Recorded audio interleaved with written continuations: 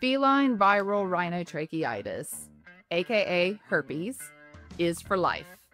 Cats get herpes. They get respiratory secretions, runny eyes, runny nose, a lot of ocular discharge, inflamed eyes, and it is something that sticks with them for their entire life.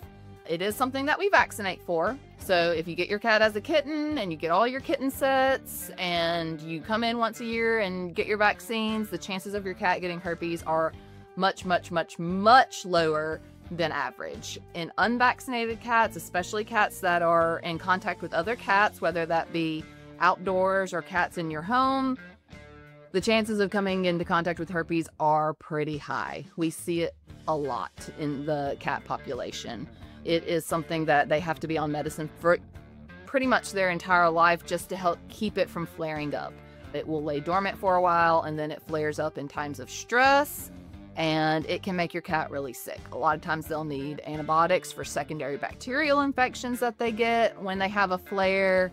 It can cause a lot of long term issues. So it's something that you're just better off avoiding and not having to deal with.